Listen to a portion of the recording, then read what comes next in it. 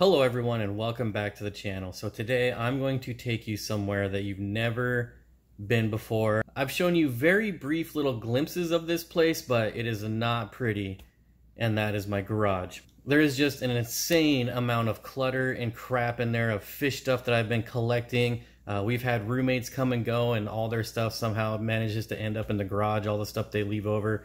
Uh, there's so much stuff down there that it's it's kind of overwhelming. But I do got to clean it up because we're putting racks in down there. We're going to get ready to sell fish, uh, ship fish, that sort of thing. So it's just got to be done. And uh, this is definitely the dark side of multiple tank addiction. There is stuff down there that I haven't even seen or used in years, and I don't know why I still have it, but I keep telling myself maybe someday I'll need that, and uh, it's time to just throw a lot of it away. This video is probably going to be insanely boring for you guys, but maybe you'll see something fun. I don't really know what else I can say about this, except that I hope other people have rooms or spaces like this with just a lot of fish junk collecting. I don't know, maybe it would make me feel better, but let's go take a look. All right, so here we are. I just, there's no way to even sugarcoat this. Here we have the 240. This is my half of the garage, all right here. So we have the 240. This is a free 90 gallon that I just got recently. I have the sump down here with all the jungle valve that I got from Fish Tank Barn. Thank you, Mike. I keep my crickets out here. They're in here. I'll turn over one of these for you guys. There you go. Tons of crickets. You get the idea. Just threw that spinach in there this morning for them. And then I keep that in there just for some ventilation. We've got some isopods out here as well. Can go through these pretty quickly. These are all new species that I've gotten. These guys are really cool. Uh, what else do we got in here? Uh, looks like some yellow dot. Can we find one? Oh, right here in front of us.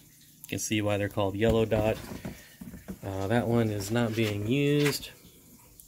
Here we have dairy cow. If we can find one. There we go. There's already babies of these, so pretty neat. Watch out, you're gonna get squished. Quickly go through these. Um, these guys are monsters. Look at these guys. And then, sorry guys, I don't know the names of these offhand. My label maker ran out of uh, paper, so I wasn't able to label these yet. They're all written down inside. All right, so that's basically what we got right here. This empty little lonely spot right here is where the bike goes. Then we got the first rack here. Uh, what do we got down here? We got some acrylic tanks down here.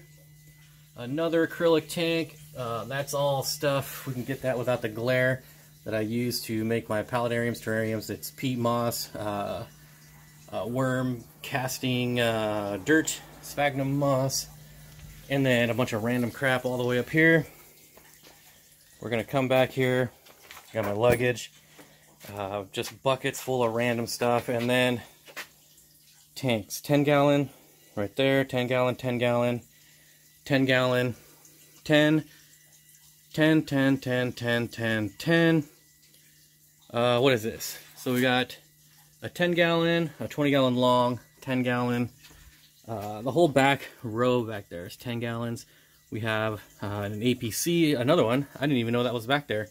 That's a big one too. Uh, more acrylic tanks here, already plumbed, ready to go. Acrylic tanks down there. A refrigerator, some lumber, uh, another bin of various stuff. We come over to this other rack. looks like we got a couple bins of DVDs up there. Both of those boxes have fish crap in them. Uh, that's a really old, nasty tent. Then we have my backpacking tent for overnight, just uh, tarps, more tanks. This is a 37 gallon, 20 gallon. Probably should replace that battery soon. Box full of stuff. Uh, I really love basketball. So there's my basketballs.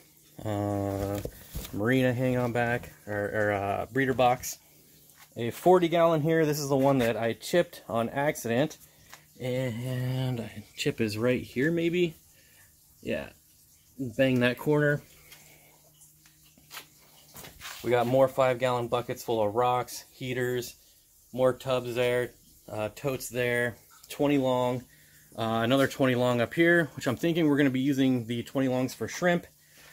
Got another 20 long right here, and then uh, those two boxes. Maybe I'll show you those two boxes, but maybe not. A corner of my bike and some other random crap. So this is basically my half of the garage.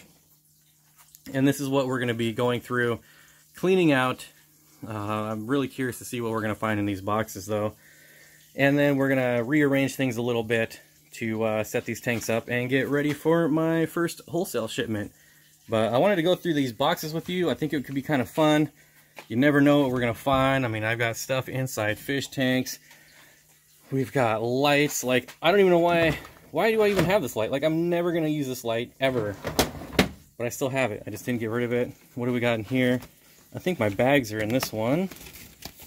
Yep, here's all my bags. Seachem bags. I probably won't use these to ship fish. I'm going to order in a bunch of breather bags. I think that's the way to go. Looks like some sandpaper in there. But uh, let's say we crack open our first box here. Let's look at this one here. Got rid of the basketballs. Let's see what we can find. So it looks like a top two, that top fin tank that I made, that Halloween betta fish that I had that I gave away. So we made our own top. So this is trash. Toss it over there. This, okay guys, so this is my CD case from high school. From high school, guys. So I don't I don't even know that I want to open this. Um, oh, it's not my CD case. That's my resume. And my, hey, there's my uh, diploma there. There's my college diploma right there. All right. Well, good. Now I don't have to be embarrassed about high school music. I don't know that I'll ever need that diploma for anything. Uh, Ziploc bags for shipping plants when I used to do that. Same with all these cups right here. I used to uh, use these as like uh, little planters what else we got in here? Airline. Ooh, I'm going to need this for the fish room redo, or for the garage setup, I should say. So let's throw this aside. Why don't we just put it in that fish tank? All right. All right, so is this actually in here? Yeah, that's brand new. Uh, might have been open, but it's all in there. We might need that as well. Throw that over there. Look at this rock. This is taller than a five gallon bucket. I don't know what I would ever use that for, but I know it's really expensive to buy those. Alright, so it looks like we've got lots and lots and lots of freeze-dried aquarium co-op food. I was kind of wondering what happened to that. This is probably not good anymore. Well, maybe the freeze-dried food is. There's one of these that are open. Right here, that's definitely no good. Uh, Reef Complete, that's right. I used to have saltwater. Uh, we got some PraziPro, that's pretty much empty. What else do we got in here? Mineralize. Looks like we got some more salt stuff here, maybe. Oh, no, Garlic Guard, unopened. Wow. You can see we've got, uh, what do we got here? Looks like an old schedule of water changes. 28 Milliway, 10 Milliway, 20 Ancistrus, 55 gallon rainbow, 20 liter, hmm, 20 liter, 20 long, trans something. All right. Got some fry, planted, anyways. Keeping track of water changes, which is, of course, all wet and dry. And throw that away. Uh, more open food, so we know that's trash. We got here? Bob Steenfott, Steenfott Aquatics retailer. Marysville, Washington, aquatic experience. Eh, trash. Trash. Uh, iron. Ooh, that's actually pretty good. I'm going to keep that. Throw that in the keep pile. Uh, timer. Oh, kilowatt meter. This is what you need if you want to know how much your fish tanks are costing you in power. That's actually pretty handy. All my awards. Aquatic horticulturist aquatic horticulturist, um, a novice plant breeder, expert aquatic horticulturist, novice plant breeder, no specific order, obviously. All right, air pump, trash, um, more mineralized. Okay. Nothing too exciting. That's trash. All right, so here's our next box. We got a busted uh, overflow here. And I know it's busted because it's leaked on me forever. But I suppose if somebody wanted to fix it, they could. So we might as well save that. You never know. You never know. Uh, Chaos, this is a really good book. If you guys want to nerd out on some science, read this book. National bestseller, Chaos. Maybe I'll reread it. It's been a while. Definitely got to keep this book, though. Uh, looks like here are the dry erasers that I ordered. I'm down to one. So that's trash, but uh, I'll keep this. Get in the trash bin. These are seashells collected off the beach uh, at some point. I think I got these from my mom, so we'll keep that in case we come across any Lake Tanganyika again. Oh, here we go. This was part of a leak, so it's all rusted out, but that can be cleaned up. Man, I am seriously like a hoarder, right? Here's a brand new piece for the uh, Marineland 350, the intake. Got to keep that. Battery air pump, definitely got to keep that. A random bag. Oh, guys, here is a find right here. A brand new Milwaukee CO2 regulator. This thing has never even been opened. Oh, yes, it has. Let's take a look. Actually, I don't think it has been opened. This is looking... Yeah, this is like brand new. Brand new in the box. Okay. We're to set that one aside because we're definitely not getting rid of that and we're not to just throw it in a random box. Uh, hang on back filter parts, trash, trash. Overflow tube, trash. Some sort of bag, trash. Here is a CO2 bottle right here. What is this, 24 ounce CO2 bottle? Back when I used to run CO2, we'll keep that. Another hang on back filter. These ones I don't like too much, but still throw it over there. The reason I like to keep this stuff is every time I set up like a, a tanks for teachers or give away a tank, I do come out here and rob pieces like this, like heaters and filters, just for that purpose. Uh, I have one more sump running, so I'm going to keep those tubes. I do need this. I've actually been looking for that. It's good.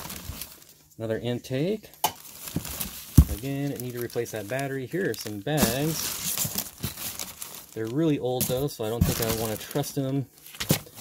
Uh, anything else in here that I want? Oh, here's a knife. I think I used this a couple times when I went whitewater rafting and then upgraded.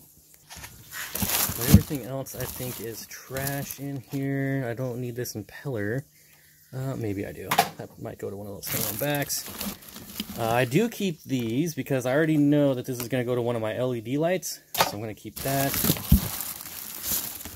I'm going to keep this for sure. I could probably actually use that right now. And then I'm going to keep that hose too because I might use that out in the pond. Keep the cap here. That's always helpful. And everything else is trash briefly show you guys a few of the LED lights I found. Uh, really expensive 36 inch Planted Plus here. And then another expensive Finnex here. This was the really bright one. I think it was the Fuse Ray 2 or something like that. Insanely bright. And then some Odysseys back behind here. So a couple LED, nice LED lights. Cheap and expensive. All work great. That was a pretty neat little find back here. We've got, oh, a practically empty tank. All right, and it's one of these acrylic ones, which I hope to take advantage of. These are from a pet store that moved, and they got all brand new tanks. You can see here that, uh, sorry, we're not for sale. They're probably going under meds. Here are the labels for them. We feed our fish new era. So I think I've got, uh, let's see, so there's three there, one, two, well, two there, three counting this one. I know there's got to be more somewhere. Of course, uh, there's one right there, down there. So maybe I got rid of more than I thought. At one point, I had about a dozen of them. Look at all those heaters. Heaters, heaters, heaters. Oh, we're making progress though. Hey, there's another big hang-on back filter right there. Here's some uh, plant trays from when I used to grow my own plants. Oh, this is going to work out pretty good, I think. Pretty dang good. So the next 10 gallon tank I pulled down had all these sponge filters in it. And actually these are very easy to clean up if you let them soak overnight. You can see most of that's already flaking off right now. You let that soak overnight, this stuff just comes right off. So definitely one that's going to soak. Oh, I see a cable in here. What, uh, what do we got here? Got a little filter here. That's trash. And I want to show you guys something that I totally forgot about. This is a custom saltwater tank right here. So this was a freshwater tank, just this tank. And the guy got it from, drilled it out the back, made overflows here, if we can see. This is kind of a little rinky-dink stand for it. He set this up as a saltwater tank and it worked really great. And he was just, you know, getting out of the hobby and I got it for free, of course. Not the only way I'd get things around here. So the middle compartment here was for a skimmer and who knows if I'll ever find the skimmer. Oh, I would probably never set this up as salt anyways. It's too small for me to use as salt. But still a pretty interesting little uh, contraption here. Pretty well done, I'd say. And uh, as you can see, we're getting uh, we're getting there. We're getting there. Three three tanks down here. Still have all the tanks up here to take down, but uh, we're getting there, making progress. Didn't find anything interesting in this bag here. Sponges, hydro balls. Um, I do actually need this though. Right here, little scrubber for anything I find in here. I'll be able to scrub it, specifically the tanks. Some Eco Earth there, just random, just junk. All going away. Not really. I'm going to keep the Hydro Balls and probably the Eco Earth, and then everything else is getting tossed. And then we have a brand new Aqueon sump kit in here. So it's got all of this stuff in here, like 500 bio balls. I got this for like $10. What's the price on there? $80. I got it at 90% off when they closed down the store. That's what the red sticker means, 90% off. So how can you pass that up for 10 bucks? And uh, well, would I rather have 10 bucks or this box that's been sitting here for seven years? Hmm, probably the 10 bucks. So the next 10 gallon tank has quite a few random stuff in here, like this bag of crushed coral. I'm actually going to keep that in case I do bring in some cichlids. I can just toss that into a 10 or 20 gallon long, African cichlids that is. So we will keep that. It looks like just a bunch of random stuff in here. I don't know what I used these for. I don't remember, but it probably had something to do with growing plants, which is why the bottom is drilled out. That's my guess anyways. Looks like we got another hang-on back filter that can be easily cleaned out. See? Like, I should be just throwing this stuff away. I mean, I clearly haven't used it in forever, but it's fish stuff. I just can't throw it away. Here's like the Finnex 360. This is a really nice filter. I can't throw that away. Perfect for nano tanks. I don't even know if I have all the pieces for it, but how can you throw that away? All these miscellaneous pieces. Here's this. This will go with that uh, other hang-on back filter we found. Rags, can always use rags. More, here you go. More crushed coral in a bag. These are lifter tubes for uh, Hamburg matte filters. We're definitely going to need those in case we go that route. So we'll save all of those. Of course, I'm just taking everything out of these.